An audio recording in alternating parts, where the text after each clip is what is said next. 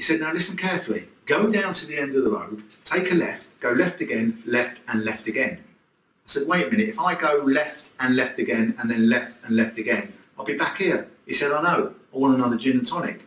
He said, whatever you do, don't go right, go left, because right is wrong and left is right. I said, right.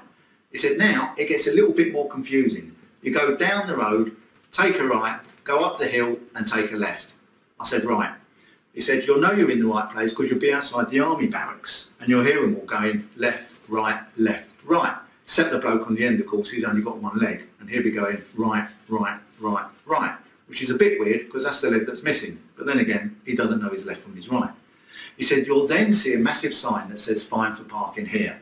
Don't park there, you'll probably get a fine. You'll actually see a large P most people think that's for parking. It's not. That's where all the perverts hang out and actually means pull your pants down and bend over. So you don't want to stop there. Or maybe you do. He said you go down the road a little bit further and you'll see the Winter Gardens. And you'll see Wayne Dobson appearing here tonight. I mean, personally, I've never heard of him, but he must be quite famous because I've seen his name spray painted right across the front of the building. He said, there you would have reached your final destination. I said, thanks, mate, that's brilliant. He said, oh, one more thing. I said, don't tell me you want another gin and tonic. He said, no, do you do any other shorts? I said, I do. He said, oh, could I have a pair? I think I've just wet myself. That's misdirection. Thanks.